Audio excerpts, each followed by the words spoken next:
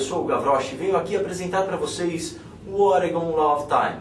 Se você é do tipo que acorda muito cedo, quando tudo ainda está escuro, ou então tem sono leve e desperta várias vezes durante a noite, o relógio com projeção da Oregon Scientific pode ser uma boa companhia. Basta apertar o botão de soneca para que o relógio projete as horas no teto do seu quarto. Se preferir, você também pode ajustar o relógio para se manter aceso durante toda a noite.